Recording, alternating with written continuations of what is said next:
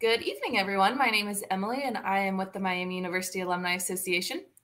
Thank you so much for joining us tonight for our virtual wine tasting with Jack Keegan. Jack is an instructor emeritus who taught the ever popular viticulture and enology class for 25 years at Miami. Jack's wine class is always full, his wine tastings are always well attended, and tonight is no exception. The Miami University Alumni Association is so excited for the opportunity to bring Jack to you as we celebrate spring in the warm weather. As you can see, Jack is out on his porch enjoying the beautiful weather in Oxford. There is an ask a question box located um, on the bottom of the screen. I'll be monitoring these questions throughout, so please feel free to ask any questions you may have, and I will relay them to Jack throughout the tasting. So, with that being said, go ahead and take it away, Jack. Thank you. Thank you, Emily. Good evening, everyone. I hope the weather is as nice there. Of course, you know how it is. It's going to be 35 in a couple of days here in, in Oxford. So it'll go back and forth, but it's April. That is to be expected. But beautiful flowers, a beautiful day, nice and warm tomorrow. In fact, we have an electric uh, roots festival in Oxford tomorrow. If you're in the vicinity, you should stop by. I think it's going to be really a lot of fun from 2 to 9 uptown in the park. So that will be, in fact, uh, uh, really a great thing. So I guess we'll get started. Um, uh, here, of course, to spring, or are we just going to get fooled again? We have had, and that's one thing, as you probably all know, Facebook is so good at doing, and that is reminding us that, in fact, on April 21st last year, it snowed here in Oxford. I've got some really good pictures, but I didn't put them up tonight. So it was, it will happen. Of course, it goes back and forth, but I think we're pretty much in the clear after this one, at least from what I looked like in all of that. So, as usual, uh, this is not moving. Why isn't it moving? I'm pressing and nothing's happening. Um, so at the bottom of where you see your slides at the bottom of the screen, if you hover down, you'll see a little arrow that you can click. Okay. There you go. Huh. Maybe it'll go from now on. I'll check. If not, I'll use that. Thank you. Uh, as usual, we talked about the wines that we're doing and the list of wines. So I thought I would tell you that first. The uh, uh, Abadía de Campo Albarino uh, is the first. Um, and I apologize. I, in fact, drove down to Jungles today to get the Bergans because they told me they had it in. And they he went to the shelf and it's like, oh, it was there. He realized, in fact, he's sometimes at the other store, and so they don't didn't have it. So I apologize. The Cambria Chardonnay, Katherine's Vineyard from Santa Maria Valley. The Malartic La Gravière La Reserve de Malartic, it's their sort of second label uh, from Bordeaux, Pessac Léognan. Uh, the Tasca d'Almerita uh, Regaleali Rosé, we'll talk about that also, about being in Sicily. Uh, the Niner Bootjack Red from Paso Robles, and then the Chateau Marjosse um, from also from Bordeaux, from Entre deux Mers. Uh, and if you cannot find it, I do have a bottle of 16 Clarendelle that I will, in fact, uh, speak a little bit about also. As you also know, no, I will have to go up there. That's fine. Um, this that we always, of course, start with tasting a wine. Um, I usually show you how to open a bottle. In fact, I'm going to open the Marjosse here uh, for that because if you have the Abadía de San Campo, you know it's a screw cap, so it's a lot easier. Um, as I said, I usually go into this and put the wine or you know around the top. Um, in fact, it's funny. So this year, and of course, I know part of it is age, but it was like, as John Dome always said, he never took the capsule off of the top of the bottle. You always go around and simply take the top of the capsule off. And so I I said, you know, that as John said, it makes the bottle look naked if you take off the entire capsule.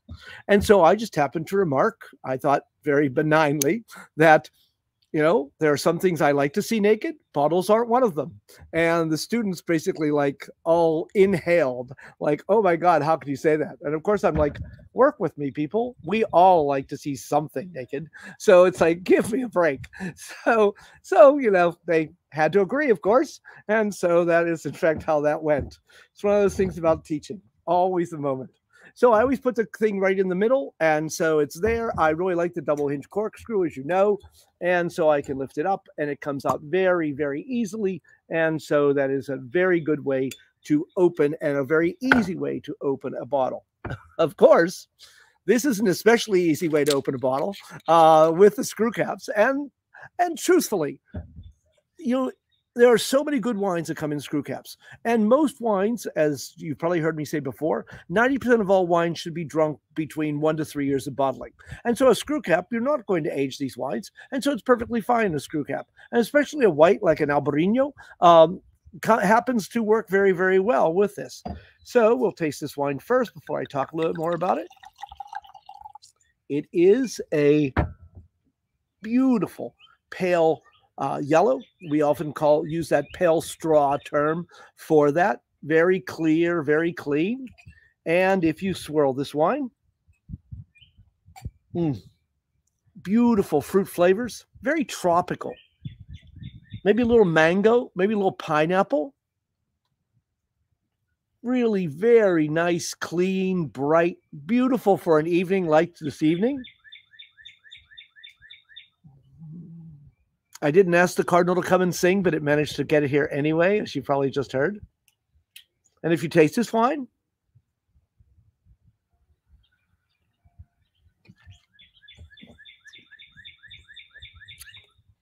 yum. Just so tasty, clean, fresh, peachy, uh, pineapples, a little mango, almost a little grapefruit too just so bright and clean. it's the kind of bottle where it's like, oh, where'd that bottle go? You know, I mean, it's one of those things where you could just drink it so easily. And it's probably only about 12.5% alcohol, would be my guess. I'm having someone look at the bottle to tell me for sure. Maybe 13, because I feel a little bit of heat. 13.5? Yeah. Oh, 12.5. Yeah. So 12.5 uh, for this. Um, really what better way to start the evening than to have a glass of this? I mean, just it's just so pleasant, so nice, so enjoyable. Just a beautiful wine. Just really, really nice. Mm. Lovely. A little bit about this wine. This is very neat, uh, um, Emily, how you can do that. Um, this is the Rias Baixas uh, as you can see, it is right north of Portugal in Spain. This is what we call green Spain. Uh, because as you can see, the Atlantic Ocean is right there, the Bay of Biscay up at the top. And so, of course, the weather comes right off of the ocean here. By the way, as you can see on the larger map, then of the area, there are several subzones to the Rias Baixas. Uh, not that you really need to worry about that at all, but you see almost like fjords going in here. In fact, this area produces much of the seafood that is eaten in Europe. So it really is sort of amazing to to see all of this and this area there. So really, just a beautiful area in green Spain. Um, this is. Um, you know, a picture from the seashore. Just, it's so beautiful. In fact, you just really want to go. And also, it is right below Santiago de Compostela. You may know about taking sort of the pilgrim's route. Um, Santiago, uh, St. James, was uh, supposedly buried there in Santiago de Compostela. And so pilgrims in the Middle Ages would walk uh, the, uh, the, the whole way, typically from France and other countries in Europe uh, across northern Spain to Santiago.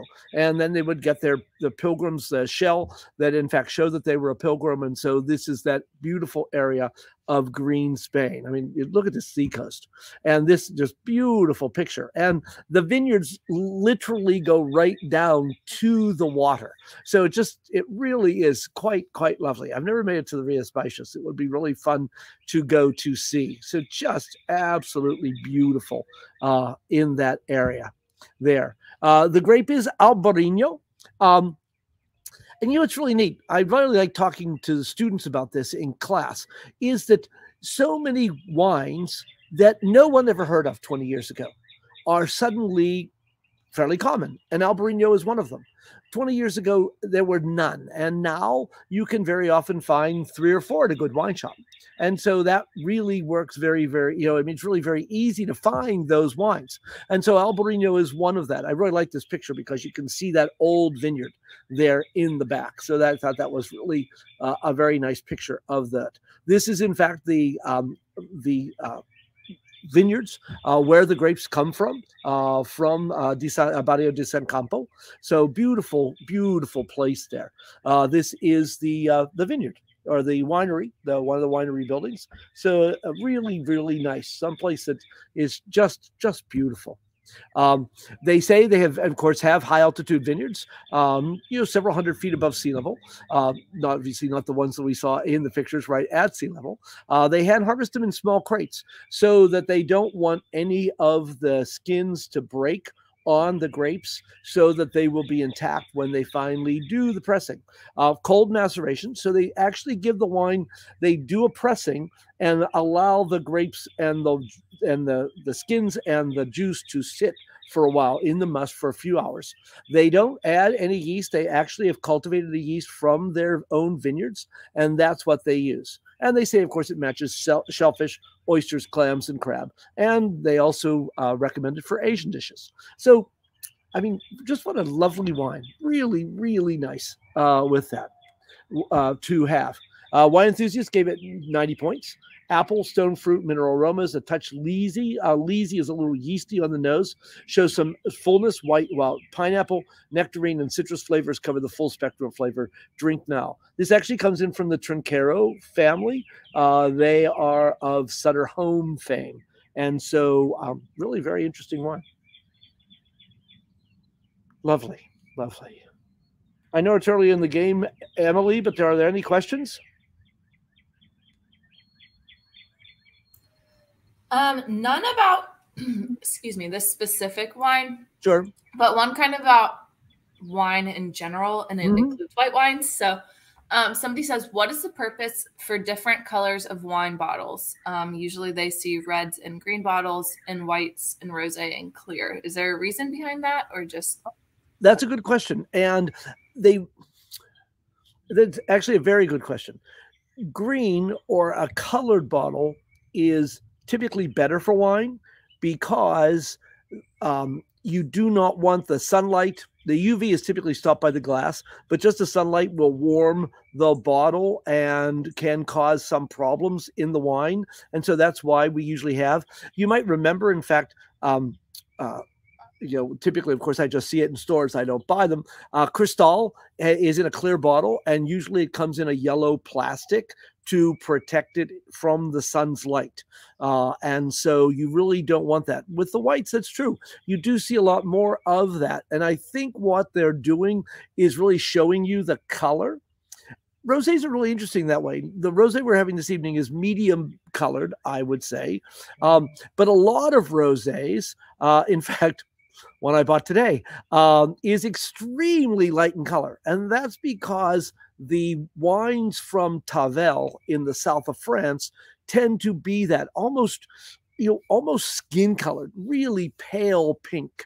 And so uh, you see a lot of that. And i think they do that because of that. Obviously you can't put in the light. You would not have in the sunlight. You would not put in a sunny window to show that wine. Uh, but that's usually why. It's actually to protect they use the color to protect the wine itself.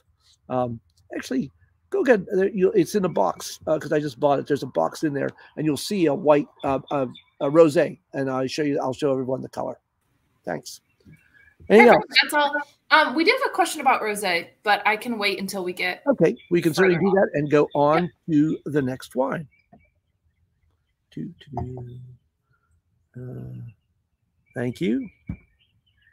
Oh, by the way, since in fact we just were tasting wine, the first thing I usually talk about is in fact what's going on in the world of wine. And I've actually seen this number of places now, and it is a bit worrisome. I meant to get in touch with my friend Eric, uh, who is makes sparkling wines in Lodi, but around April 8th, it was 90 degrees in much of California. And a few days later, it was below freezing. And so they had a frost event. As you can see on this picture, those grapes are hurting. And if you look very carefully, almost right in the middle of the picture, you can see the flower buds. And so the flower buds sort of right there in the center of the picture, uh, and you do worry about them being damaged. And so this, in fact, was one thing that they're worried about. April is like this. And so we find this time and time again that these these are events that are happening. I haven't really heard much. Actually, I'll show you a picture from Marjosse, but this was in early April where it got quite cold there. But um, unfortunately, their website was down, and so I couldn't see if they had any problems or if it was early enough so they did not have a problem. In fact, with uh, with frost uh, there, and I've heard nothing else coming out of Europe about frost this year. Other years, too many other years, it has been in fact very, very bad. So that's going on, and they I will check with some people to find out how if how badly it's going to be for them. Some areas I think got hit fairly hard. And look at this. Talk about the exact opposite. This was on the BBC just a couple of days ago. And if you're interested, you can look up this Slinde Vineyards in Norway. And that is the winemaker. They're, I still can't believe it. They're making wine on a fjord in Norway. And he has 2,700 vines. He has a grape that's mostly uh, the European wine grape, vinifera, uh, called Solaris that he uses. But in later on in the um, video, I really think he was planting both Pinot Noir and Chardonnay it's shocking to see that. Uh, and it really, so it's fascinating. You know, you can look it up quite easily, as I did, uh, for that vineyard and find out. It's like, wow, I I would have never dreamed that anyone would be making wine in Norway in my lifetime. Uh, I certainly thought later because of climate change, but still, that is truly, truly amazing to see finally I saw this right before I got ready to, to do the class. Um, certainly, one of the most interesting gentlemen in the American wine industry is Jean-Charles Boisset. He is married to Gina Gallo. The Boisset family is very prominent in Burgundy, and I've actually been lucky enough to meet him on a couple of occasions, and he is pretty wacko. Um, but you see him there with uh, Robert Chang of the American Truffle Company. And so they are going to work to grow black truffles in Napa Valley. So I thought that was fairly amazing to think about. So we'll see how that ventures. He is quite the showman, and in fact has bought a number of really interesting properties in uh, in Napa and other areas. So those are some of the things that are going on in the world of wine currently eh, with all of that. the birds are getting busy. Did the next slide not come? Wonder where it went to. Beg pardon? Hmm. The slide is missing. It's really very strange because I know I have it. Actually, what I'll do, since I don't have it, I don't think I I don't think I have it misplaced. No, I don't. How odd that doesn't come up. Anyway, this is the wine. We're going to do wine number two. And so as you can see, it is the Cambria Katherine's Vineyard 2019 Chardonnay. For some reason, that that slide is black. Oh, very good. Uh, and so you can see this, the Santa Maria Valley, uh, there in the south. So let's try this wine.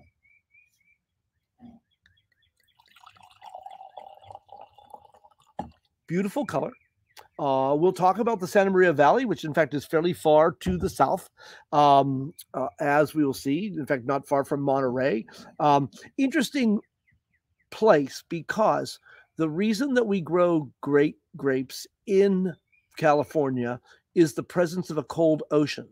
And you know that Napa and Sonoma, Napa especially for the most part, goes north south. And so the wind has to come in across the San Francisco Bay, then goes north. Well, in the Santa Maria Santa Ynez Valley, it comes straight up the river. And so it literally gets warmer like a degree a mile as you go up. So if you are close to the ocean, you are growing Chardonnay, Pinot Noir, Riesling. And as you go further away, that is, is what happens with this. Beautiful golden color, absolutely clear. Lovely wine, almost has a little bit of a greenish highlights to it. It's a beautiful nose. The thing I like about it is obviously you have that butteriness from the oak, but it's far from overpowering. There's almost a little uh, creme brulee in there also. That sort of you know butterscotch or burnt sugar but it certainly does not overpower the wine because there's wonderful fruit in there. Oh, probably like baked pears, maybe some apple. Oh, it's that's pretty, really lovely wine. And of course, if you taste this wine,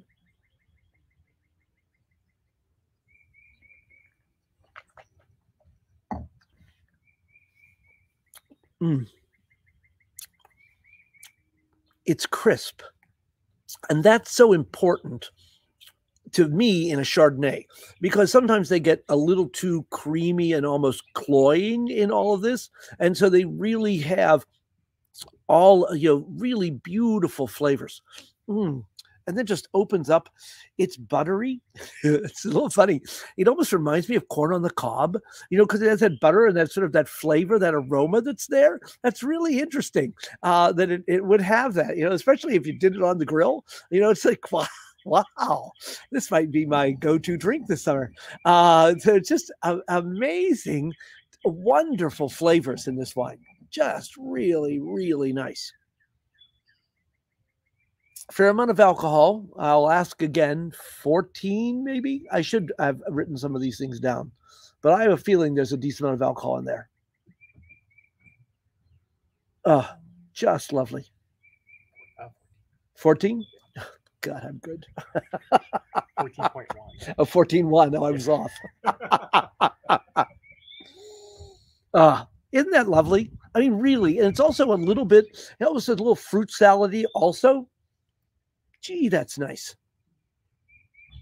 Beautiful wine. Beautiful wine.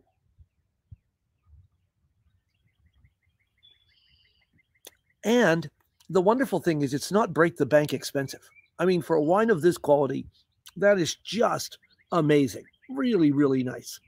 Uh, let's look at this wine. Thank you. I don't know. This is, in fact, it gives you an idea. It's in Santa Barbara County, so down there between San Francisco and uh, Los Angeles, uh, and you can see the river coming in. This is the area that you see right there, right next to Bien Nacido, which is a very famous vineyard. Um, these are, in fact, the vineyards of uh, of the um, of the winery, Cambria, excuse me. And um, you can see they've planted a lot of Chardonnay. They have a lot of Pinot Noir. Uh, and they grow a little bit of Viognier and a little bit of Syrah. In fact, very, very little in uh, in the area uh, there. Uh, this is this winery is completely run by women. Uh, in fact, um, you know, the funny thing is, though, this is a beautiful, again, you look at those hills, you see this beautiful expanse of vineyard area. The only thing that you never see, and I've used or I've tried to see this in Cambria, you never see a picture of the winery. This is the most you ever see of the winery. I have no idea why. I have searched diligently through the internet to find something, and usually that's it. That's all you ever get to see. So I always find that sort of funny to that it is that way because it's obviously that everything else is just beautiful. Um, it's completely run by women, and the owner, in fact, from many many years ago, is Barbara Banke. Barbara Banke was married to Jess Jackson, and of course, it's Kendall Jackson, and um, Jess Jackson passed away now a number of years ago. I bet, ooh, time flies, maybe eight years or more. And she not only did she take over, but she has done a sterling job of running the company expanded it um, has just just done an amazing job. They're also very environmentally aware and they they're very strong about sustainability. Really very very good. So she is of course was married to jess uh, and runs the entire kendall jackson empire. Uh, this is her daughter catherine who is the proprietor and and there is a, another daughter who also works there. Uh, both of them, of course, Barbara's daughters. Barbara's a just daughters, and so they the whole place, in fact, is run by women, and they do an amazing job. I find their wines to be very very good and very reasonably priced, and so uh, Cambria is almost always a good bet for a good wine. There's simply no question about that. Again, another picture, absolutely just gorgeous and nice, cool climate, not that far from uh, the ocean. And so they get all of that nice, cool air there. Another picture of the vineyards uh, that they had there. It's 100% Chardonnay. Um, it has three different clones. Uh, I'm not sure what clone four is. I should have looked that up, but 80% old vine clone clone four. But then the additional clones are Wente. Uh, Wente clone Wente Winery was one of the first to plant a lot of Chardonnay. And so many, many people went and got budwood there to start their vineyard from the Wente clone. And then clone 76 and 96. Uh, alcohol 14.1 uh, winemaking whole cluster press. They actually put it in in whole cluster. interesting though, 75% is barrel fermented and 25% is stainless steel. So it's not all oak, and you can sort of tell it's not that heavy in the oak. Obviously, the oak is there, but it's not too much. Also, the other interesting thing is 75% of the wine goes through malolactic fermentation. Now, in a nutshell, you start with malic acid, which is very common in cool climate grapes, and a, a, a bacteria changes it into lactic acid, which is the acid in milk. So we go from the acid in apples to the acid in milk, which is much softer. And all reds go through ML, which we typically call it. It's a lot easier than saying malolactic fermentation each time. So most of them go through ML, but very few whites do. Only Chardonnay is one that is very often done in this way, and they only do two thirds of it, or 75%, excuse me, three quarters. And so the other 25% will be fresher and will not have that. And so it gives them some acid to work on. They also age for Sur Lie, meaning that they allow some of the yeast to remain in the barrel. So as they break down, they give the creaminess that you find in this wine. And then besides that, it's uh, 20% new French oak. And so obviously the rest of it has been used at least once or twice through that. So this is the, the various compositions of this wine. Absolutely lovely wine. Oh, yeah. It's just so pretty.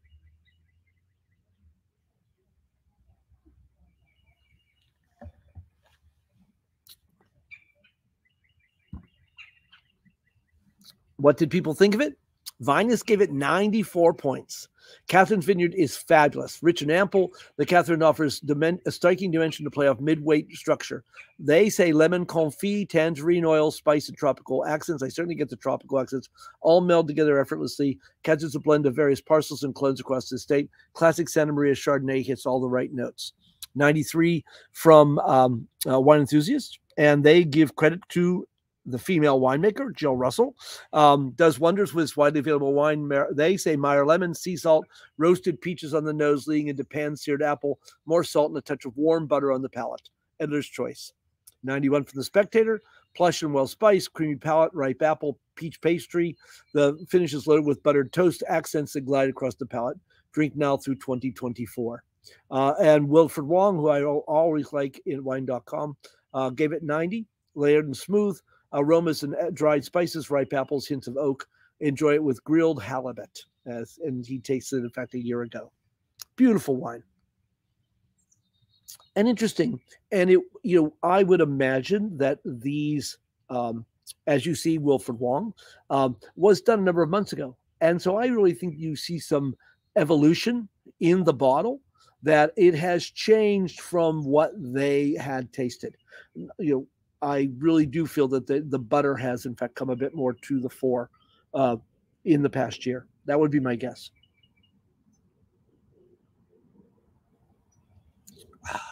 Questions, Emily?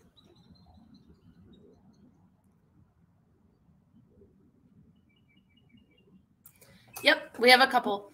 Um, before I ask the questions, I did want to mention um, to everyone watching that our Central Florida alumni chapter is hosting a post wine tasting discussion on Zoom. Um, it's hosted by the Central Florida chapter, but anybody joining in is welcome to attend. So if you are interested in attending and um, talking more about the wines you've tasted to, that you have tasted and will be tasting tonight, or just want to talk about fun Miami memories and connect with other alumni via Zoom, um, drop your email in the ask a question button and let me know that you would like the Zoom link, and I can send that to you. Um, all right, and to the questions. Somebody, Adam said, this Chardonnay is amazing. What makes this one so much smoother than some of the more tart ones I've tasted? Well, I think actually, a very good question. Uh, two things.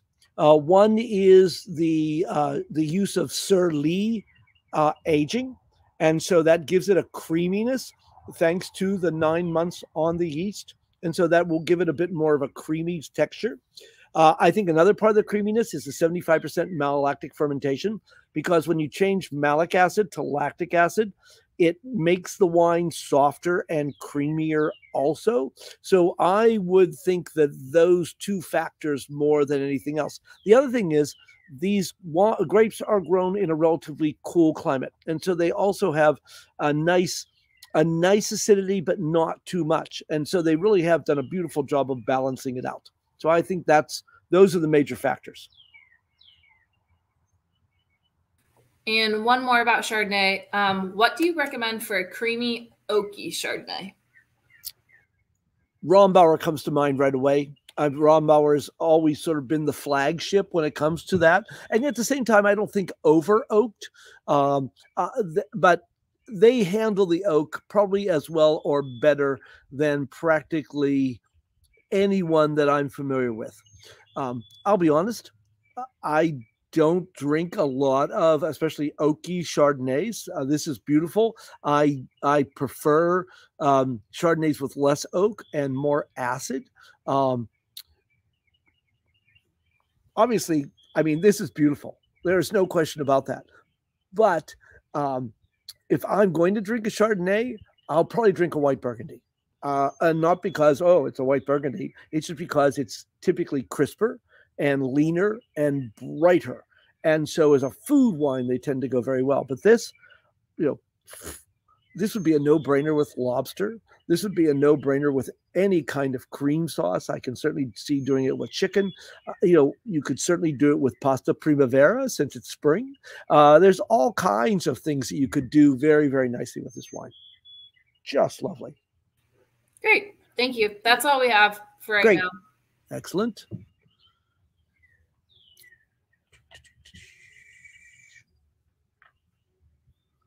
So I need, there we go. So, wine number three. This is, uh, as you see on your screen, and hopefully you managed to get this, La Reserve de Malartic.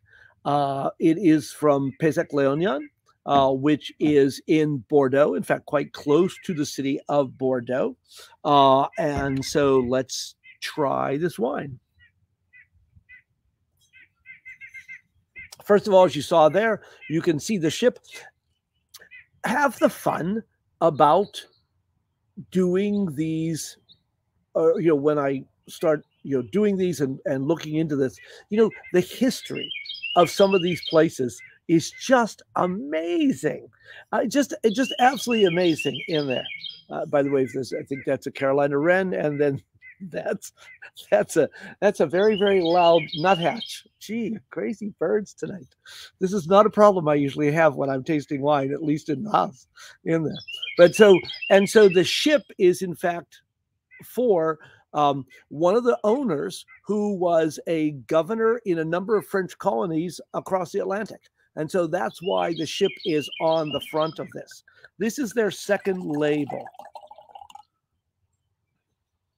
Again, I don't think it's because I'm outside, but this does certainly have green notes to it. There's no question that that's yellow, which with really an amazing tinge of green to that wine.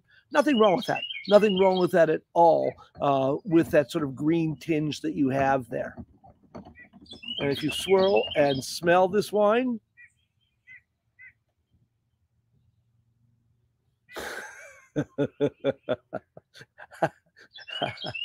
it's it's it's it's just disgusting how much I like this wine. I mean, he just smells it's like, ah, that's just so nice.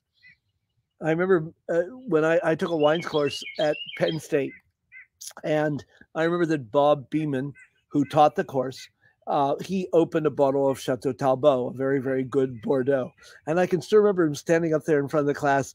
And after he poured it, and so he put it to his nose, and he said to the students, he goes, um, Excuse me, I'll need a minute.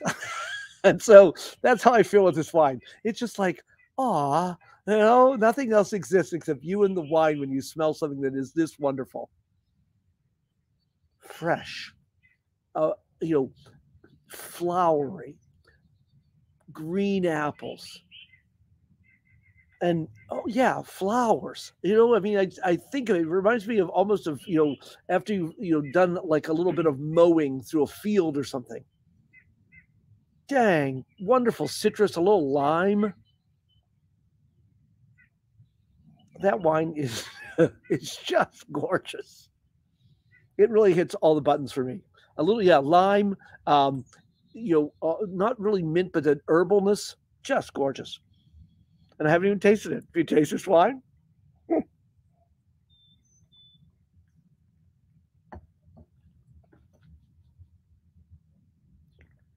Mm. Smooth, wonderful acidity, but not too much. Creaminess on the palate again, a little bit of oak, everything beautifully integrated. Just mm, such a wonderful flavor. Mm. Nice herbal notes come out of that wine. It is just beautiful. And remember, this is their second label. The full on Malartic Lagravière uh, is uh, obviously a lot more expensive and needs a lot more time in the bottle, uh, but also absolutely amazing wine. And interestingly enough, there this wine comes from, as you'll see in a moment, from Pessac Léognan, which is right south of Bordeaux. And the whole area used to be called Graves, which is just French for gravel. And the people in Pessac is a town, Léognan is a town. And so uh, probably, I think in the 50s, they basically said to everybody, mm, we make better wine than the rest of Graves. And to tell you the truth, they were right. And so consequently, they separated themselves. They made themselves a, a, a separate um, AOC, in other words, a delimited area. And so this is where the best white Graves come from. But they also make reds there. In fact, Malartic La Gravière, if I remember rightly, is 58 hectares, and a hectare is 2.4 acres. And only seven hectares are white, and the other than like 51 hectares or something, I may not that exactly right, are red. Um, but they in fact get a higher price for their white uh, first label than they do for their second their, their second first label. Beautiful. Let me tell you a little bit about this wine or show you some things from it. This is also a wine that comes out a little saline in the finish. Now, it's not that there's salt in the wine, but it just has minerals that give you a salty feeling in the wine that you're getting there. So let's look at this wine. It is from Bordeaux. And in fact, as you see in the blue uh, right there, uh, I guess you can see the pointer, uh, Pessac Léognan. And so just south of the city. In fact, some of these places are are literally in the suburbs, you know, because obviously Bordeaux, as every city has, it grows. And so consequently, uh, for example, uh, Chateau Pape Clément, which is uh, a second growth. It is in the suburbs. There are buildings around the vineyards. It's just strange to see, but it is the way it is. And and Malartic La Gravière is to a great extent along the same way. So that's where it is, just south of the city of Bordeaux.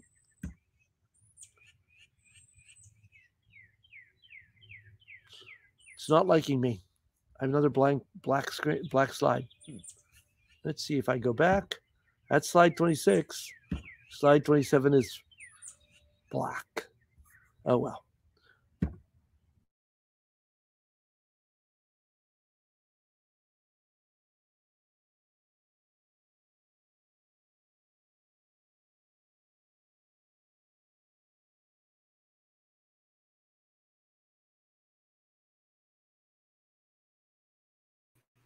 Are you there, Jack? Are you frozen?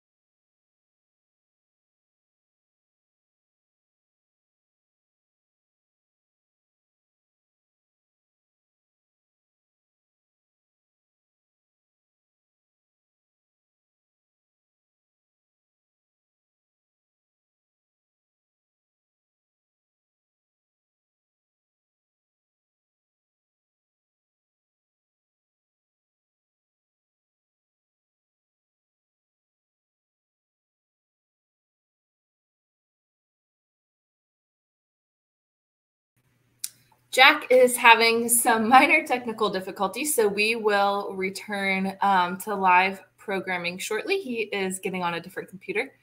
Um, so just enjoy the wine that you are currently tasting, and he will be back on as soon as possible. Again, if you are interested in um, discussing the wines we've tasted tonight and will continue to taste when we get Jack back, um, you can join the Central Florida Alumni Chapter as they host a Zoom um, to discuss the wines we're tasting and also some of our favorite Miami memories. Um, go ahead and if you want to join, you can put your name um, and email in the ask using the ask a question button, and I will send you a Zoom link. Otherwise, we will return um, shortly as soon as we get Jack back on um, and just enjoy the wines we've tasted so far. Thank you.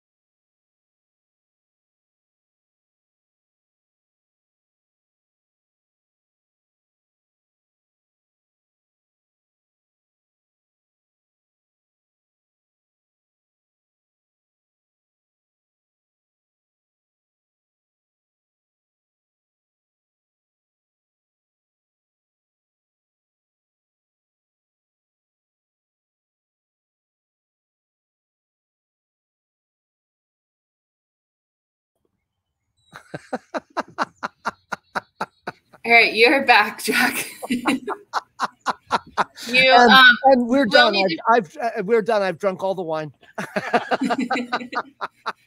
Um, you will need to share to add your slides again. Um, okay. Which you can do by hitting the share button, slides, and then you should have them already uploaded. There you go.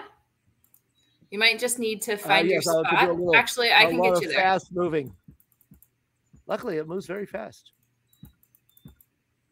Okay. Yes. Still blank. That slide is still black. Wonder why. It's so weird. Oh, yeah. full screen. Okay, we're back in action. We're back Good in job. action. I I do apologize. You know, in doing this and being here, of course, we thought we had everything done, except that I hadn't um, plugged the computer back in. We plugged in the lights, we plugged in everything else, and forgot the computer. Um, I what could I say? You know, my technical help sucks.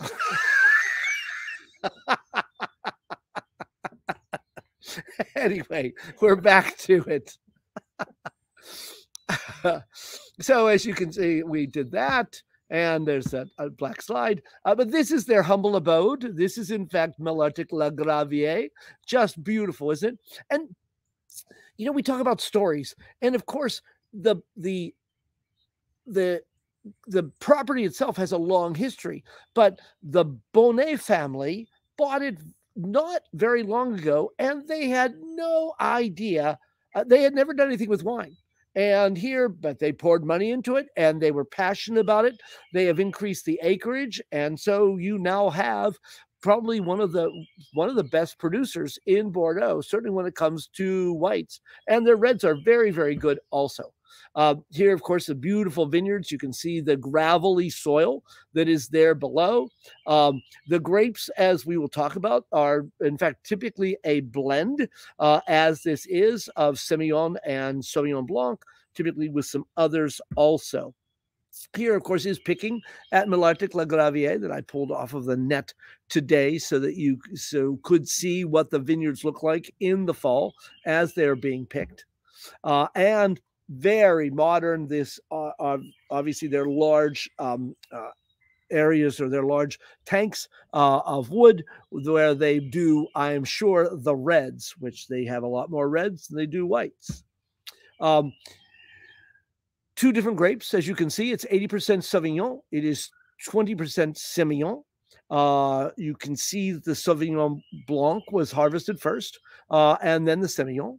Um, there you see their total area is 53 hectares, but the area in white is only seven hectares. So uh, most of it is red, very gravelly. They talk about the what is there, uh, close uh, density, um, uh, slow fermentation.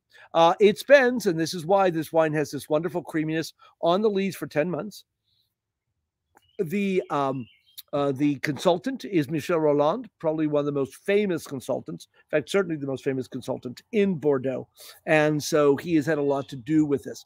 And they are uh, also a very high level of, of sustainability and biodiversity. So very, very neat. And what did they think of it? Wine enthusiasts gave it 92 points. Wine is a good mix of herbal fruitiness and spice from wood aging, freshness, hints of green fruits, touches of apricots, enriched with a creamy texture. Um, and at 90 from the Wine Cellar Insider, better from the bottle than the barrel, showing great waxy lemon, flower, and green apple character, elegant, fresh, and vibrant. No question.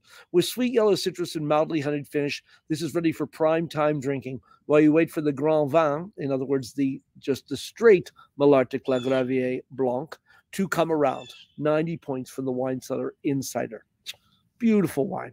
Beautiful wine. Again, I apologize. Any questions, Emily?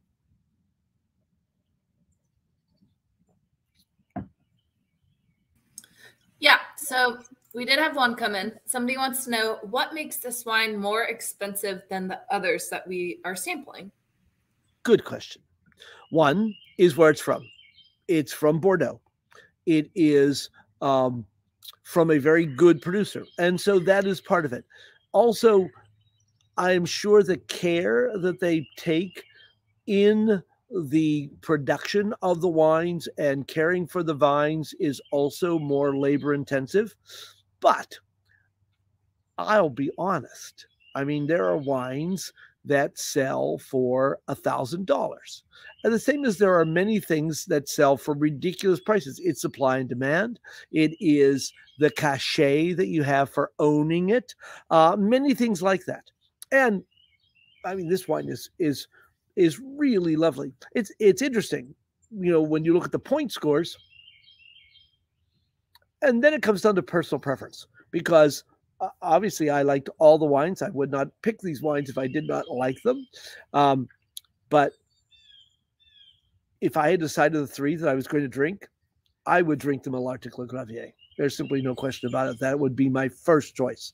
I have no problem drinking any of the three, but that wine is to me just so expressive, so beautiful that, you know, to spend $40 on a bottle of wine, I don't do a whole lot. And I would spend $40 on that wine uh, for that reason. I really think it is, you know, beautiful expression of what it is.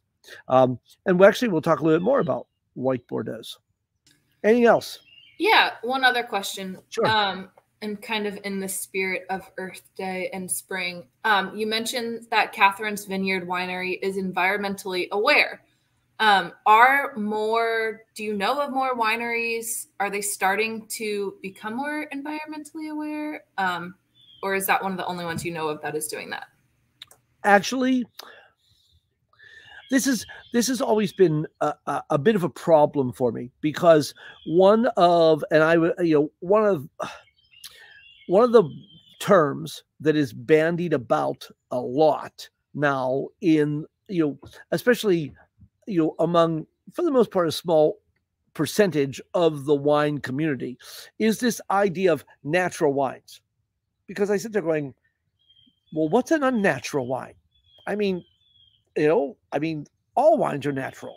I you know obviously there are some that are done more by committee and for certain flavor profiles that they work for, where most of the people who I feel make wine are passionate about making wine, are passionate about the things they do, and especially this is where they live.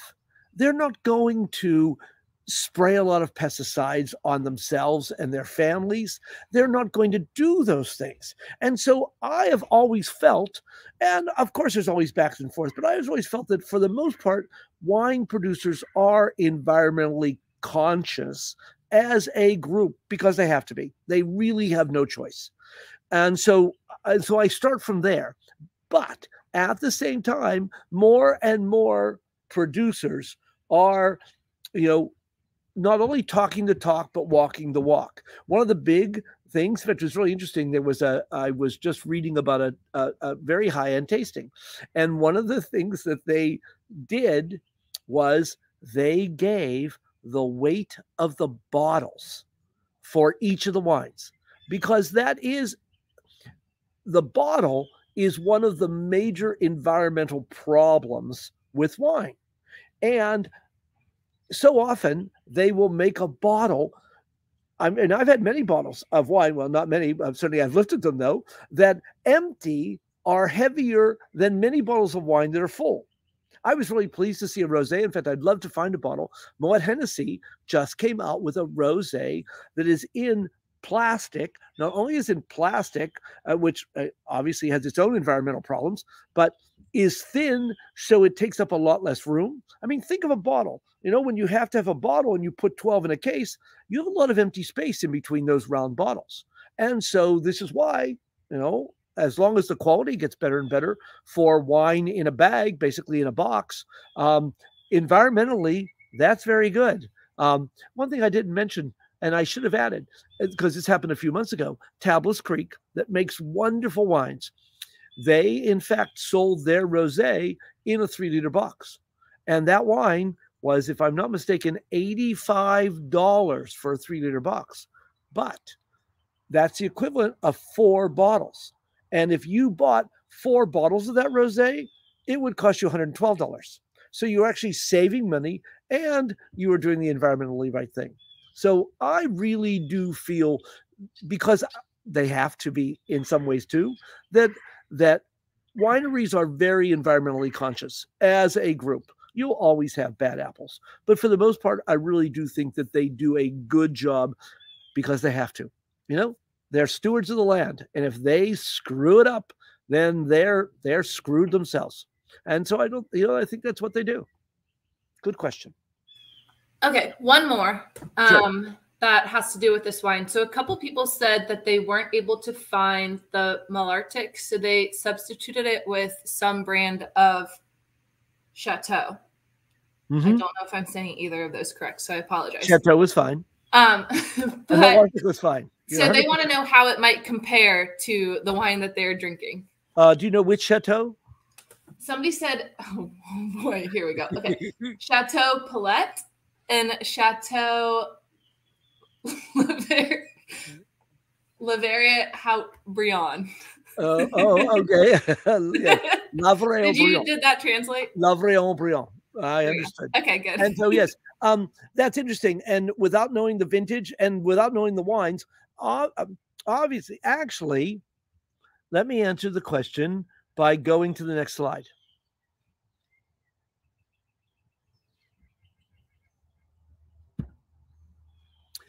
White Bordeaux's, I decided to give a little bit of just a, a, a slight or very short uh, uh, dissertation or just a little uh, thing about white Bordeaux's, what you're drinking. White Bordeaux's are almost always blends, and they are blends of Semillon and Sauvignon Blanc and occasionally muscadelle. Muscadelle is used in very small amounts because it's very aromatic, but you will often find it. There are two basically camps or two distinctions between white Bordeaux. You can, of course, have the the sweet white Bordeaux's, Sauternes, mm-hmm. Cadillac, Monbazillac. There's a number of actually sweet white Bordeaux's that are made. But of course, what we're having now are the dry Bordeaux's, and and so they will be varying amounts of Semillon, Sauvignon Blanc um, in them, like this one is 80% Sauvignon Blanc, 20% Semillon. Interesting, the sweet ones tend to be more Semillon than Sauvignon Blanc as a general rule in all of this. Um, as you can see in Bordeaux, 45% of the white grapes are Semillon. 43% are Sauvignon Blanc, and then 5% Muscadelle, and then 7% they grow a little Pinot Gris. They actually have four or five different grape varieties that they are, in fact, allowed to grow. All of this is under definite rules and rules for all of this. I will tell you flat out that some of the best bargains that you can get in wine are white Bordeaux's. There are many, uh, for example, I bought a wine today called La Moda O. I have used it in class a number of times. This wine was all of 11.95 and it is usually it will not have the quality, it won't have the depth of the Malartic Le Gravier that we drank now, but it is perfectly fine for everyday drinking and at that price why not and because see, probably about 90% of all Bordeaux is red. And so, because of that, you can find a lot of really good values in white Bordeaux. Now, not saying, you know, the straight Malartic in fact, the main, the Blanc, I think it's not $100 a bottle. And you can find uh, Smith Lafitte makes amazing white Bordeaux's, but they are also not cheap at all. And so you will find those, but those are up there. Actually, Chateau Haut-Brion makes a white. It's a thousand dollars a bottle. I haven't tasted it. Uh, Le Mission also makes an excellent one. Um, Mouton makes, I think Mouton makes Pavillon Blanc, thousand dollars a bottle. Crazy um, prices. And so you will find those, but otherwise, white Bordeaux's can be really, really good buys. And so I would recommend uh, Graville Lacoste, uh, La Moda O. Uh, I can think of a number of them that are, you know, and again, a little more expensive. Chateau Louvière, Chateau Carbonieux, uh, wonderful wines. And so, if you really like white wines and something that's great for the summer but has a real nice depth of flavor, white Bordeaux's are certainly one of the ways to go. Okay. I know that was a little long winded, but that is certainly how I feel about white Bordeaux's. Very, very nice wines. Great. That's all we have for right now. Great. Let's continue then. Our next wine is a rosé. This is Regaleali uh, from Sicily. Uh, and as you can see on the label, this wine is from the grape Nerello Mascalese, which is that and Nerello Cappuccio are the two main grapes that you will find uh, in Sicily that are used especially on Mount Etna, uh, etc. So let's taste this wine. First of all, beautiful color, nice, bright, sort of orangey pink, not too dark.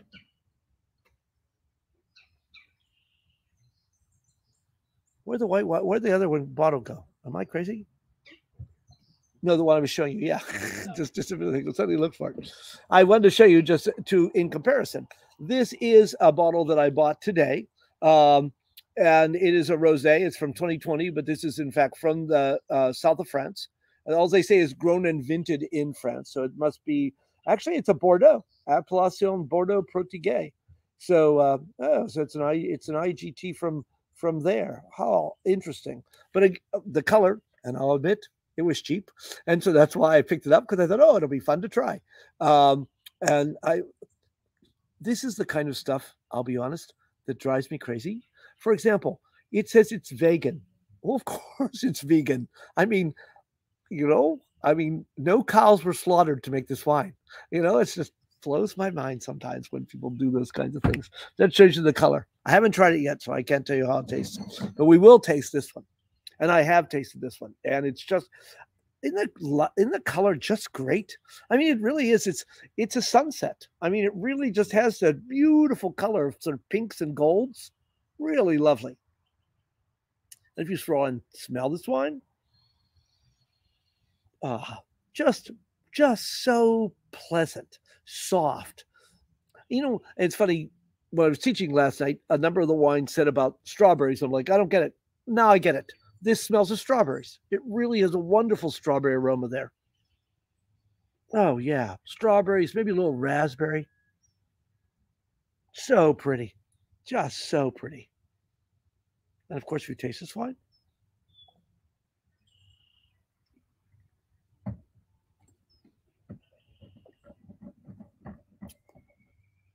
Mm. What's not to like? clean. Maybe not so much. Well, strawberries, but almost strawberry jam more because it really sort of has a jammy character to it, but certainly still strawberries. I don't really get a lot of cherries, maybe other berries, maybe raspberries more. But yeah, that and strawberries, very, very berry like. Easy drinking, really pretty. Oh, yeah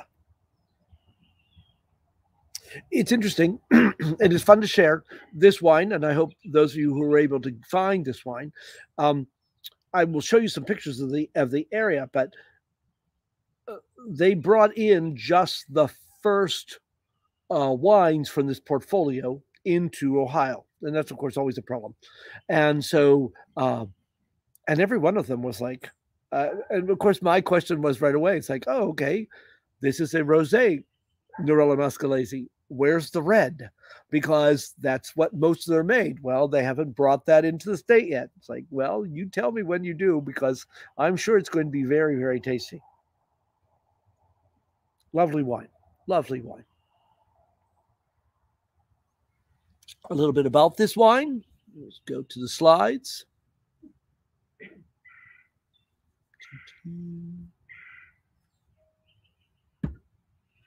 This is Sicily um, we will talk. And in fact, actually, they own vineyards now.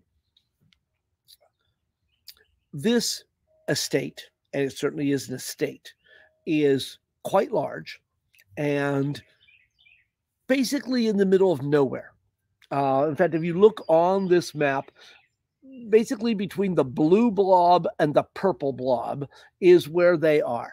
And they started this in literally like 1830 where the family bought this and in fact began developing it. And they've grown any number of things on it. They didn't really go into grapes until later. And then the current the current member of the family who's basically running the operation with the backing of the rest of the family has now bought vineyards in I think five different areas in Sicily. And so they have an entire portfolio of wines now that they are um, that they are making, and hopefully we will see more of them in uh, here in Ohio. Um, so that's Sicily. Um, uh, typically, this is another great example. 20 years ago, if you drank anything from Sicily, it was Marsala. And if you drank Marsala, you definitely didn't drink Marsala because you cooked with it. And so, because a lot of Marsala was also industrial and wasn't very good, that is also changing. Um, today, so many Sicilian wines, especially from Mount Etna, have become the darlings of sommeliers. This is uh, the um, uh, the home uh, that they have uh, in the center of this huge property beautiful pictures. You know, again, I spent some time looking to see what they had, and just from various people who had visited, just absolutely beautiful countryside, literally in the middle of nowhere. And I'd be happy to go there for a while. It is just looks just so lovely. Uh, it's 100% Nerello Mascalese. It's all done in stainless steel. 15 days of alcoholic fermentation, cool fermentation, 57 degrees. They do a cold soak. That's how they get the color into the wine. So um, 12 hours. So they literally take the Nerello Mascalese, which is a red grape. They throw it in, they crush it. They allow the skins to remain in the juice as the whole must for 12 hours, and then they press it. And so now they've got this pink wine that they now make like a white wine, cool fermentation, everything the way that they do this. Um, it, uh, that's interesting. It goes through partial ML. And so part of it does go through malolactic fermentation.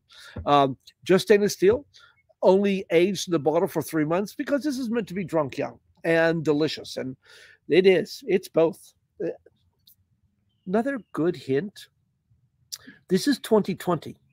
And the 2021 rosés are coming out. And often you will find the 2020 wines for a song because the next vintage is coming in. Most people want to drink the youngest wine. And so they will be selling off the wine they didn't sell last year. And in many cases, I you can do what I do buy a bottle, take it home, drink it, some people might try it in the car. I don't recommend that. Uh, and see if you like it. And then go back and buy more because you can sometimes find some great buys on last year's rosés. And some rosés will certainly last three to five years. Not all of them. They're meant to be drunk young, but you can find some really good buys that way. So just a little little bit of a hint. Mm. And to give you an example, this is lovely. It's pleasant. It has nowhere near the depth and the quality and the complexity that the that the previous wine had. And that's fine. It is what they are what they are. And and to enjoy them for what they are is I think the important thing in drinking wine. Certainly certainly is for me. You know, I have no problem tasting that wine and having it. This got 89 points from the enthusiast. Savory and refreshing. Lovely rosato has aromas of rose and wild berry. Shows its Sicilian roots. The bright palate finishes crushed raspberry, tart cherry, Mediterranean herb, and star anise be, uh, before a saline finish. Tangy acidity gives it a clean, quenching finish. And there's no question. It really is lovely.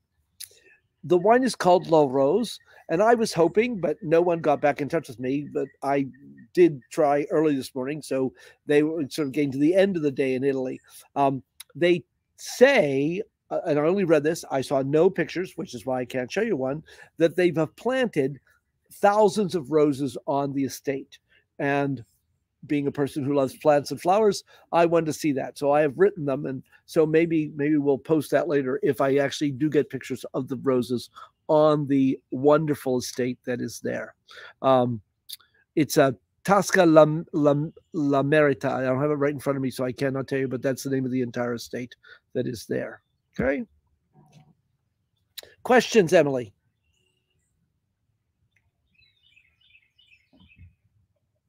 Well, I've already done a pretty bad job at pronouncing things tonight, so I might as well just go ahead with this question. That's right. Um, someone said, I think Provençal rosés are the most familiar rosés to us. Would you mind comparing and contrasting to the Italian rosé? Good. That's a good question. I think, obviously, depending on the producer, you will find differences. But a Provençal, in other words, a, a rosé from Provence or Tavel, um, is typically, I think, a little drier than this wine. Um, I think a little lighter than this wine. This wine has a little bit more weight. We really, and that's one of the wonderful things about um, uh, Southern French rosés. We really expect them to be, you know, almost ethereal. They're very light. They do not, you know, they they just sort of glide over your palate. And because it's a war, it's a really hot climate. You're drinking on a warm day. You want something that's going to be really light and refreshing. And this is both, but it has a little bit more weight and depth to it. So I would think more than anything else that that would be obviously it's a generalization the difference between this rosé uh, or actually a lot of italian rosés now that i think of a few that i've had uh, and uh, the ones from provence great and that's all we have for right now excellent let's continue on then This is the Niner uh, wine estate. This is their Boot Jack Red. I didn't buy it because it was Boot Jack. I didn't actually think about that until now. Screw cap. Not complaining.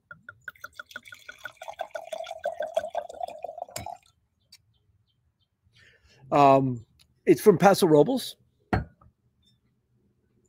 Dark um, has a good red color, a real bright red, almost a very sort of jammy red uh, there.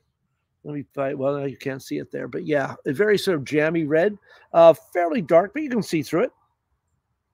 And if you swirl, oh yeah, so nice purple highlights I can see as I'm swirling this wine. Mm, bright, uh, spicy, almost a little cinnamon. Mm, so nice. Yeah, really spicy, really a lot of nice jammy fruit.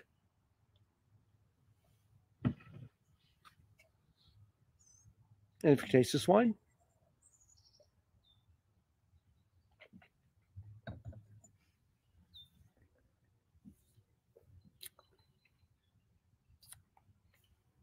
soft. There's tannins there but not a lot. I mean, you really are getting a tremendous amount of really, really juicy fruit to that. What is the alcohol? Did you see? Just curious. I'm thinking relatively high. 13.5. Oh, really? Not bad at all. Seems, I'll be honest, seems higher. I feel a, a little bit more, you know, on the palate in, you know, in my throat uh, with that. But still, really fresh, jammy, really clean. Wonderful dark fruits. We're talking plums and elderberries. And really nice spiciness to that wine.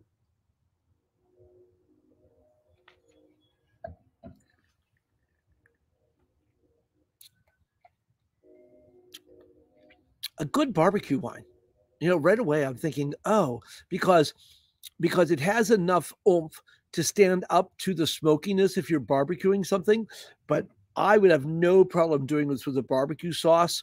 I think that it would stand up very nicely because it has the edge of tannins. It has tons of fruit, uh, enough acidity to go against, especially if there's sort of tomatoey barbecue sauce uh, there. So I really think that that would be very, very nice. I'll be honest you know,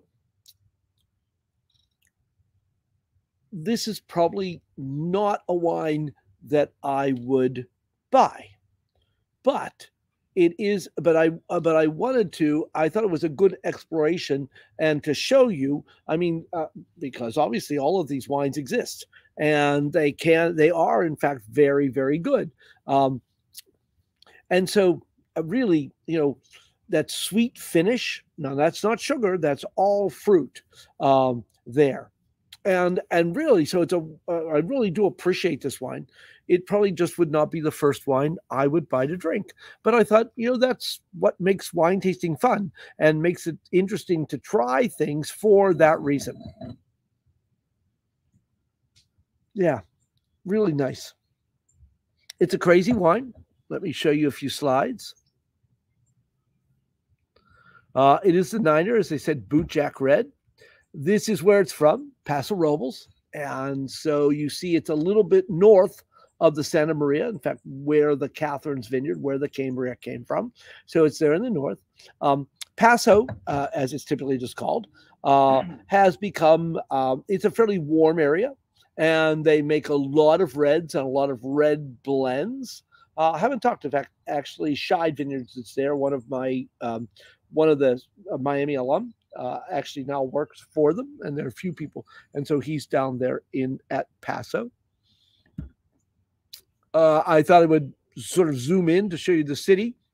It's a little tough to find, but if you actually look uh, there, because they also have a very nice restaurant there, from what I understand. So there's Niner is down there, sort of to the uh, uh, to the lower uh, left left hand corner there.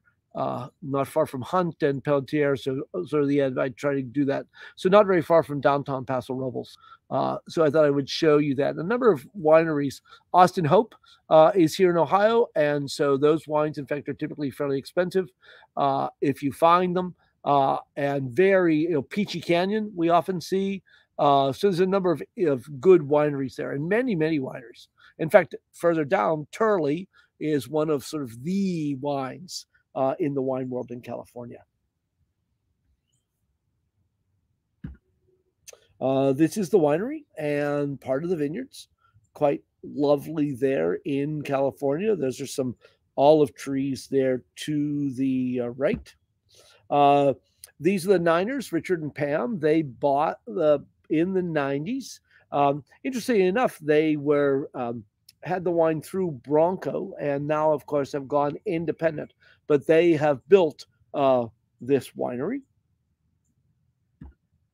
This is the uh, a picture of the inside of the winery itself. Uh, and as I said, they have a, from what I understand, at least looking at the menu, a nice restaurant. Some some of the vineyards. I I don't I don't know what the plant is in the middle, but they take pictures of it. It really ends up being very heart shaped. So it's nice to be out on the patio and see that. Uh, winemakers note they actually treat each varietal. Look at this blend. It is probably one of the craziest blends I have ever seen. It is 31% Cabernet Sauvignon, 21% Malbec, 13% Merlot, 13% Cabernet Franc, 6% Petit Verdot, 6% Carmenere, 4% Syrah, 3% Mourvedre, 3% Zinfandel, and probably 1% of par- partridge in a pear tree. Uh, it's just an amazing a group of wines or that are there on different varietals. And what they do, as you can see, as a foundation, the Cabernet is added for structure, the Malbec for a juicy component, Cabernet Franc for fine tans and lengths, Merlot for subtle fruit and finesse. All the other varietals in the blender accent pieces, each adding spice and different fruit characteristics. The barrels are selected along with the amount of time spent in the barrel through all the individual pieces together in a cohesive way. And they spend, it's literally, you know, a surprise 48% new French oak. And this wine on average spends 21 months in oak. And you don't really notice the oak. I mean, the oak is there, but it is certainly it's the fruit that is the component in this wine. Very interesting, very soft, jammy, really nice. Would be a really this is a good example of a summertime red because it's not heavy and it's not like oh yeah. You know i mean? You don't need to have like super heavy food. You have summertime food. Stuff off the grill. That would be really nice. I could see gee even like a barbecued chicken it would certainly be great with it. Nice wine. Questions, Emily? Yeah, um, somebody said, do many wines have as many varietals as the bootjack wine? This seems unusual to them. There's no question. This is truly unusual. Um, many wines are blends, though, and blending is such an important part of winemaking. Um, bunch of examples: Bordeaux's. Almost every Bordeaux is a blend, bar none. It it that's the way it is. So you you you drink a Bordeaux, it has Cabernet Sauvignon, it has Merlot. Depending if it's on the other bank, it has um, Cabernet Franc. Uh, there may be a little Carmenere Malbec. Uh, when you drink California wines, because California is warmer, you will have you can have 100% Cabernet Sauvignon for the wines, but not normally. They'll add some Merlot, they'll add some Cabernet Franc. Um, in fact, it's really interesting. Those of you who know the movie Sideways, um, it was basically a love letter to Pinot Noir. But at the same time, the person really, really hit Merlot. I mean, really just, you know, in fact, it was funny because, in fact, the wine that he loved most of all was, in fact, mostly Merlot, uh, Cheval Blanc. And, and so that's, it's a, a little crazy uh, with, with that. But the amount of Merlot in California, almost shockingly, has, has diminished a lot. Well, Merlot is so important as a blending grape and makes delicious wines by itself. All of a sudden, everybody woke up this year and thought, there's not enough Merlot. They need it for the blends and you know good quality Merlot, and they don't have it. They in Napa, don't hold me to this because I can't, but I want to say that the Merlot over the last 20 years, acreage has decreased like 40%, which is crazy. I had no idea I'd done that. But suddenly people are scrambling to find Merlot to use in their blends. So the world of wine is always fascinating when it comes to those things. Anything else? Nope, that's it for right now. Great. Let's continue on then. Chateau Marjosse. Uh, this is from uh, from uh, in fact, you see at the bottom of the from Pierre Lurton the Lurton name is absolutely one of the names in Bordeaux. Certainly one of the most important names in Bordeaux. And we'll talk a little bit more about this, but we'll have the wine first. This is 2018. This is a young wine. Um, in fact, it's very interesting. And um, at Jungles, they uh, showed me today, they just got in was very very interesting. I want to say it was a wooden box that had let's see if I did my math right. I think 14 a single bottle of 14 different chateaus from Bordeaux of the 2018 vintage. And so what they were selling you was a 2018 gift pack. And so you would buy those wines as I'll be very honest, as I as I said to the fine wine manager there, it's like, but if I buy the 18s, will I still be alive when I'm supposed to drink them? You know, because these would probably, in fact, they're pretty obviously pretty good gross. And so they probably need at least five years and might be better in 10. So, uh, so it's like, uh, yeah, maybe I'll pass. But it was about $600 for, I think, the 14 wines. He said it averaged to $43 a bottle. And the, the names in them, I didn't find tremendously, I didn't know all of them, but it was still an interesting concept that somebody would, in fact, do that. Anyway, enough of this. Let's talk about Marjosse. Whoa, beautiful color just so nice and red, fairly dark, in fact, fairly opaque, not tremendously. Still has some red, some garnet highlights to it.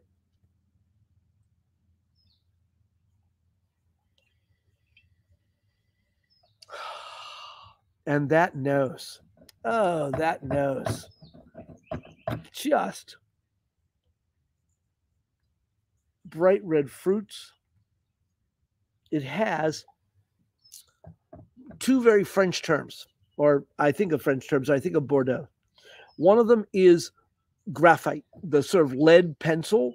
When you take and you know, some people may not remember, you know, sharpening a pencil, but that aroma of the wood and the graphite is so found in so many Bordeaux. And it's there. There is no question that the graphite is there. Just lovely. The other term is uh, certainly more for the south of France, and that's garrigue. It's that herbalness also in this wine. Just lovely. Mm. And at the same time, beautiful, bright fruit. Just a lovely, lovely wine. So if you taste this wine,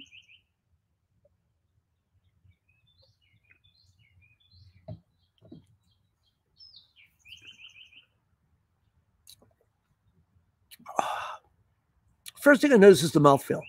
It's creamy. It's soft. It's really lovely. Of course, it finishes then with a nice smack of tannin that is still not heavy, but there certainly is good tannin to this wine. This wine will probably, may actually develop over the next five years and probably last for the next 10. I really feel that there's enough of the tannin and the structure to that wine that it would last very, very well. Um, mm, so tasty. I keep getting that graphite that is so wonderful in that wine. Just, just beautiful.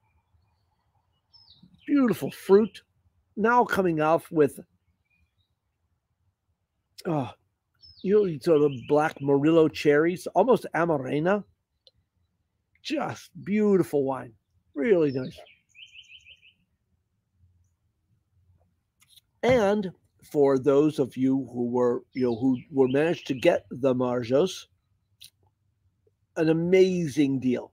I mean, really, really just a wonderful wine. Is that open? Could you open that wine for me just in case I need to do it? Okay. So let me tell you a little bit or show you a little bit about this wine. Pierre Lurton, as I mentioned. Pierre mm-hmm. Lurton, this is his private estate.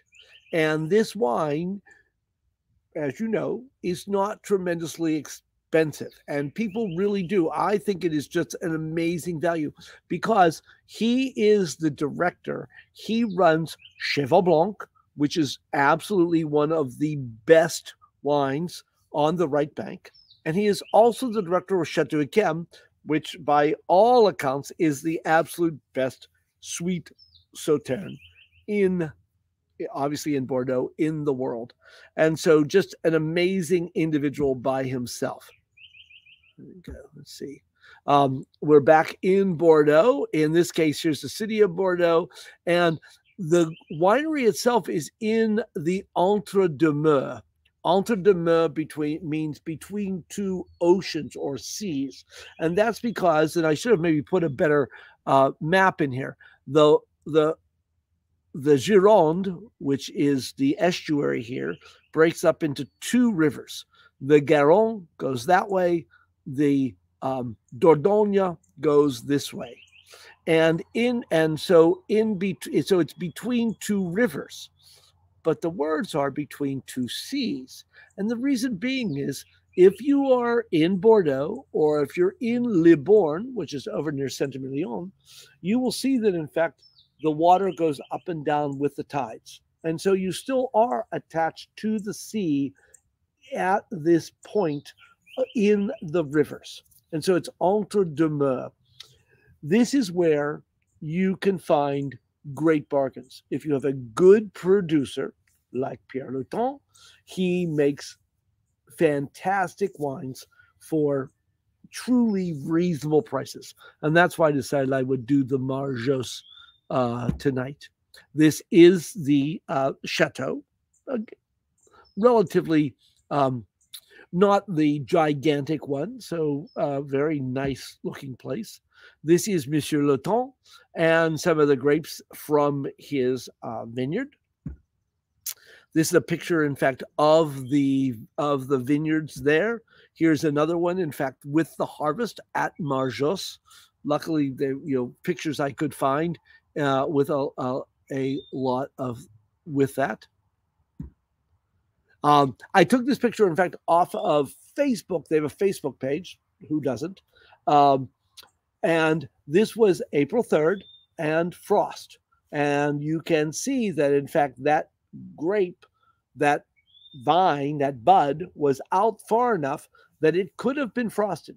I have not seen, there was nothing on Facebook or anywhere else um, to find out if they suffered any real frost damage. April 3rd is a bit early uh, for them to have frost damage, but that vine seemed to be far enough out uh, so that it would be worrisome. So it was uh, interesting to see. By the way, this wine, um, beautiful. Uh, James Suckling gave it 92 points, and I'm not surprised. Beautiful, precise fruit, blueberry, blackberry character, full bodied silk tannins. Uh, Vinous Media gave it black currant, raspberry aromas, fresh and vibrant glass, plum jam, black olive notes. Uh, the palate is underpinned by fine tannins, good substance, and crisp. Cedar tin finish is a pure joy, a must buy from Pierre Lurton's home estate. The Advocate gave it 92 points. It's 80% Merlot, 10% Cabernet Sauvignon, 10% Cabernet Franc. What you may not realize, because we talk about Cabernet with Bordeaux all the time, we talk about Cabernet Sauvignon with Bordeaux all the time, but yet Cabernet Sauvignon is only and I know I'm close to this, like 26% of the grapes that are planted in Bordeaux. Merlot is about 60% of all the grapes planted in Bordeaux, are um, are Merlot. And so you have that, you know, the 20 some with um, Cabernet Sauvignon, probably about 10%, if I remember rightly, of Cabernet Franc and then very, very small amounts of Carmenere or Malbec. And so that's Bordeaux. And so, not surprising, this is 8% Merlot, 80% Merlot, 10% Cabernet Sauvignon, 10% Cabernet Franc, a splash of old Malbec because they do grow some Malbec too. Old barrels used for 25% of crop. Medium to deep garnet color opens compelling nose of big spice. Raspberry pie, you get that really wonderful fresh fruit. Uh, warm red and black currants, rosehip tea, and fragrant earth with a waft of wild sage. Medium bodied patterns filled with fragrant black, red and black fruit, framed by great freshness and softness, supple tannins, finishing on a floral note. An absolutely beautiful wine for the money. Incredible. I'm going to eh, I'm going to also have very briefly, and in fact, and I will apologize because of time. There's someone said I think um, I have not looked at the Clarendelle, but I will do that very very quickly. Um, there's anything in the back about the grapes. No. Cl- Clarendelle's a really interesting wine for so many reasons, even before you taste it, because it is named for Clarence Dillon, who's an American. Clarence Dillon bought Chateau Haut-Brion, and in the 30s or 40s, 30s must have been, or you know, or, or after the war. I'm trying to remember. And of course, Clarence Dillon uh, was the Treasury uh, Secretary of the Treasury um, for the Kennedy administration, and his family has continued to own it, and his granddaughter, I think it was, married the Prince of Luxembourg. And so, in fact, it is the Prince of Luxembourg who now runs or owns um, this winery. Uh, and it's out, out of Chateau Haut-Brion, one of the most fabled wineries uh, in Bordeaux, just south of Bordeaux. They also recently bought La Mission Haut-Brion and own many, many other properties. And so this is their entry level wine. And so I thought, you know, with a 16, which is another good vintage, it would be fun to try. It's darker than the Marjosse. It has more, um, yeah, a lot more sort of, uh, uh, I think, uh, sort of tannins, probably a little bit more wood than the Marjosse does. At least that's what comes out in the nose very dark, um, plummy, and almost going then into a little bit of, of almost cocoa.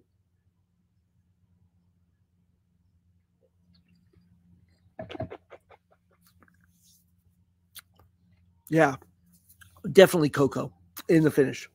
Um, a little bit of that lead pencil, but really more of that chocolatey sort of cocoa in the finish. Nice fruit, nice wine. It is, in fact, a very nice wine. If I had my druthers, I'd drink the Marjosse. Uh, but still, um, nothing wrong with the Clarendelle at all. And so, and I know it's fairly widely available and they make a fair amount of it. And so that's why I put it up there as the alternative uh, for that. Questions, Emily? Yep. So um, the question we had that came in is about the Clarendelle. He said he has a 2011 Clarendelle, um, and that the percentages of the Merlot, Cabernet Sauvignon, and Cabernet Franc are different. Um, so, do these blends have different percentages each year? Are they made the same each year, or are they mixing it up? That's a great question. And it's one of those things, uh, and I know I have it somewhere probably in my um, uh, in my notes and papers. Every year in Bordeaux is different. The reason being is it, it gives them flexibility. You have these different grapes, and you have a you have a a bad spring frost. Typically, Merlot comes out earlier than the Cabernet, and so it may be more effective than the Cabernet the Merlot tends to ripen earlier and so may miss the fall rains. And so, if everything goes okay, the quality may be better. Where it may rain on the cab, and even though cab's fairly thick skinned and and can stand it, it may not have been as good. So, when they make wine, especially in Bordeaux and in other places too, when they make a what they call their grand vin, in other words, the wine that they put their name on, they pick and choose from the various lots of wines to blend then the very best wine that they can. I was um, fairly well acquainted with the winemaker, the person who ran Chateau Lagrange, and I had a a list, and I'm sure I have it someplace, or and maybe I they will have it. I had the list of the various grapes that were in the wine from year to year, and they it, they ranged widely because some years are Merlot years, some years are Cabernet years, some years are Cabernet Franc years, and so they will they want to make the best wine they can. That's their obviously that's their intent because their name goes on it and so they will use the best grapes that they have each year and so yes it does change radically from year to year. Great. And that is our last question. Great. I have a few things to show. Um, what I thought I would do, and very, very briefly, um, I have always worn many hats at the university. And one of them, in fact, I lived, in fact, right near Silvoor for a number of years. And I still uh, lead wildflower walks there. So, in fact, I ran down to the Silvoor Biological Sanctuary. By the way, for those of you who are never there, it's right behind Peffer Park and is right off of Chestnut uh, on Silvoor Lane, which is their oak or maple, maple, I guess, or, or, you know whatever comes down there past the the um, Shriver Center and down that way. It's sort of right off of that. So I thought I would show you some pictures of what is blooming today in Oxford. The first thing I started is I thought I would get the nasties out of the way first. You see this this nice green carpet with these bright yellow flowers. Kill it. This is Lesser Celandine, uh, Ficaria verna, if I remember my Latin properly. This is an extremely invasive plant. In fact, I was walking around my property a couple days ago and I was surprised to see just a couple places. And because of how bad it is, I I dug it up and I throw I I throw it in the garbage. I don't compost it. I throw it in the garbage to be taken away. Because it is extremely invasive in so many ways and and is very very difficult to get rid of and this is something in fact we are fighting at the sanctuary. The other one i would show you and this in fact was the last thing i saw when i was walking through but i was actually walking through the the um, the lawn. This is poison hemlock it looks a lot like wild carrot, but typically is larger. It tends to be bluish green. It also, luckily, you will not get a dermatitis if you touch it, but this is a, a, European native. It's what killed Socrates. It is a poison. And so anywhere I see this plant, I spray it and or dig it out or do something, I kill it. So I thought those are the bad guys I would get out of the way right away. Let's go to the nice things. Virginia bluebell, Mertensia virginiana, is blooming at the lane right now. And what's wonderful is they will self seed and increase. And so you may have a place that looks like this after a while. Blue, uh, it's really interesting. I can go back. Bluebells in fact, I think I have a picture someplace else. Most of, remember, our honeybees are not native. And so most of these flowers were what we call buzz pollinated. It's things like, you know, bumblebees and other plant, other large or bees that will go to these flowers that are pendant, that hanging down. And so that's why you see so many of our wildflowers are this way. By the way, these are called spring ephemerals. The reason we call them spring ephemerals is because they basically get all their living done before the leaves come out in the trees. They grow, they bloom, they set seed, and then they're gone for the rest of the year. and that's what happens. Um, uh, uh, Phlox divaricata, beautiful plants all over the place now in the lane. Comes in a number of different colors, as you can see, blues, sort of pinkish, and white. So very nice. And all these pictures I took today, the um, uh, May apples were just coming out. And it's interesting if it has one leaf, it has no flower. If it has two leaves, it has a flower. And there you see the flower bud, May apples, it's not May. They're not blooming yet, but you will see the flower buds on the emerging May apples.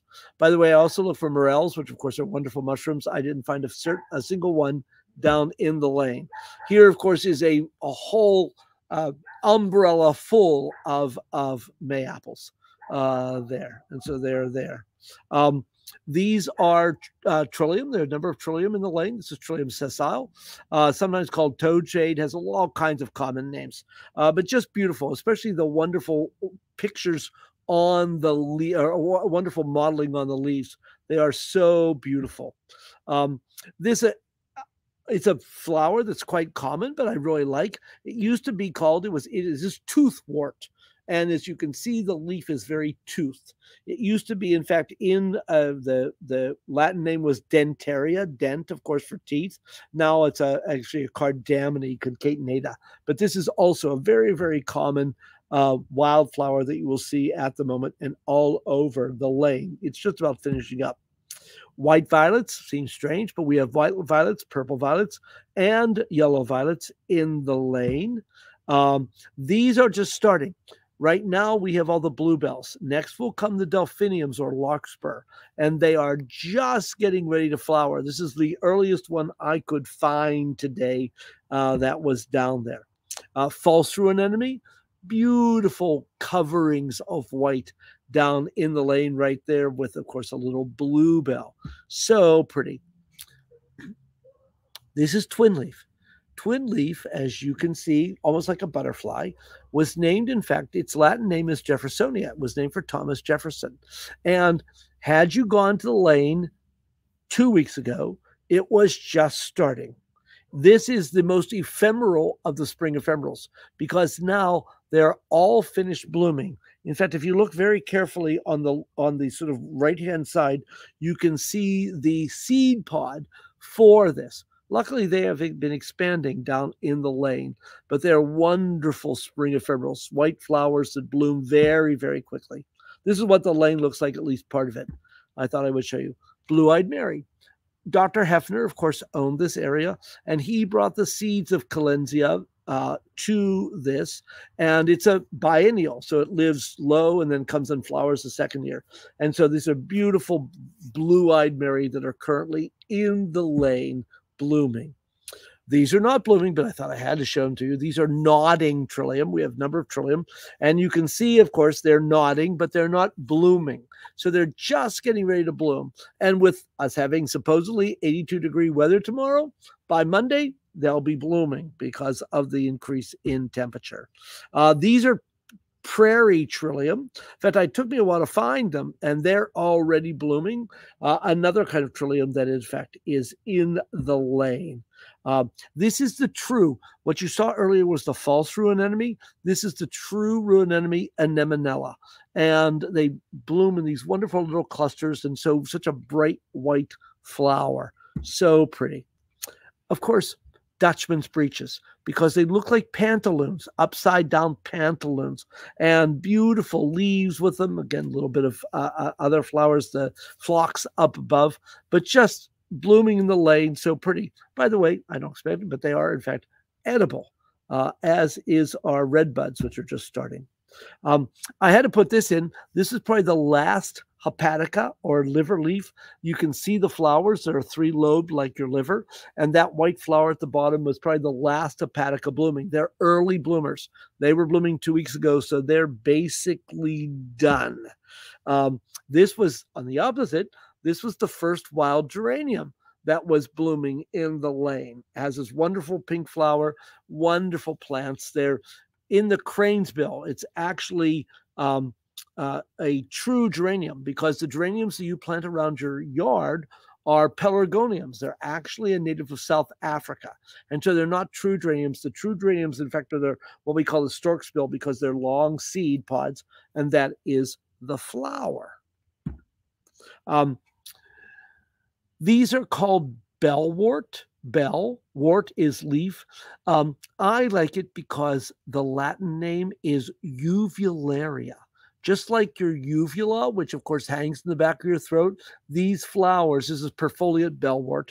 This is a beautiful yellow flower. And I was actually pleased it has increased in the area in the lane also.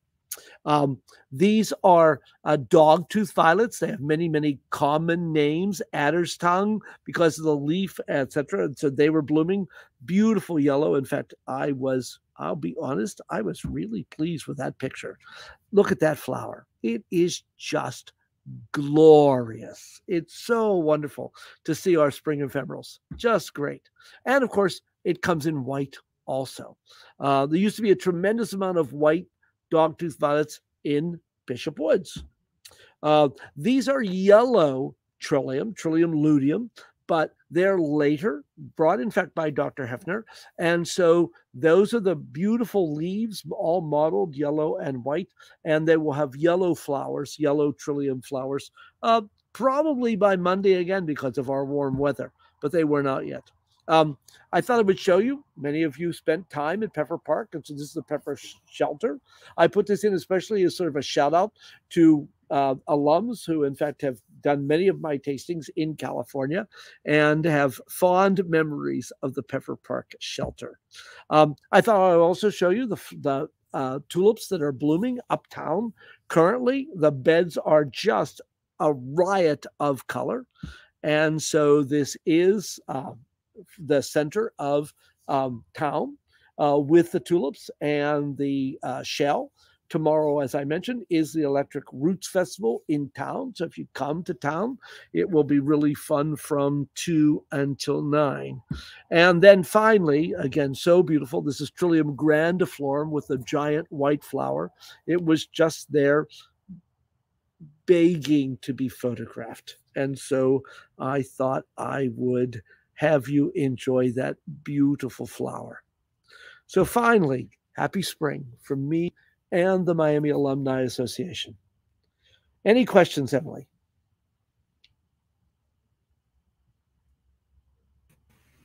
Nope, we do not have any questions. I probably overwhelmed them with flower pictures. I understand.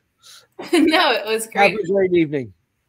Well, thank you so much, Jack, for joining us tonight. And to all of you that um, tuned in, we had a lot of questions come in, so I apologize if we were not able to get to yours.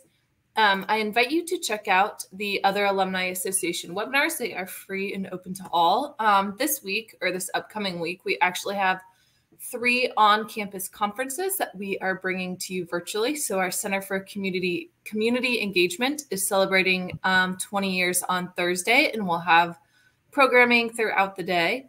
The College of Engineering and Computing has their conference on Friday and has five different sessions throughout the day on Friday. And then Miami Women, hence my shirt, has programming on Thursday and Friday.